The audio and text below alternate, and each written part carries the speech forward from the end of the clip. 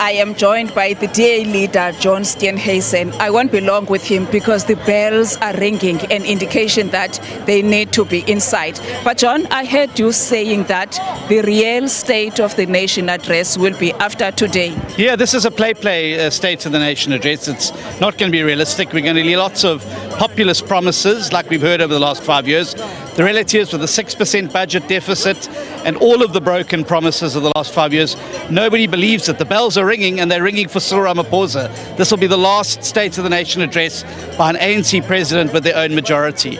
And I think that the real State of the Nation address will be in a couple of weeks' time after the election, where the real vision about how we're going to rebuild and rescue South Africa is going to be set out.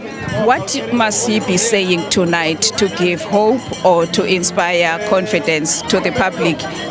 I, I, think the president's got a credibility problem. I think that you know he's promised us jobs, they haven't materialised. Unemployment is worse. He promised us to fight crime crime has gone up, gender based violence has gone up. He's promised us to fix load shedding for the last five years. Load shedding is worse than it is now. He promised to fight corruption. Corruption is now worse than it was under Jacob Zuma.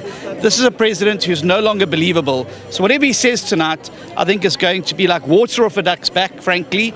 I think everyone's ready for the election because they know that the election is going to bring the real change that South Africa needs. How do you think then things are going to be done going forward when that real state of the nation address is being done? What issues and how are these issues, the challenges that the country is facing now, are going to be addressed? Well, I unveiled my blueprint to rescue South Africa in the course of the last week sets out very clearly how we would fix load shedding, how we would get Parliament working again, how we would make sure we can get people into work, how we would protect social grants by ensuring financial security, and how we would fight corruption by reintroducing the scorpions. Those are the things that I'm looking forward to being delivered after this election as part of a new government in South Africa. Let's talk after his speech. Thank you so much, Lou. Cheers. That was the DA leader, John Steenhuisen, as all the MPs now and invited guests are expected to be inside um, the City Hall, sitting in the public gallery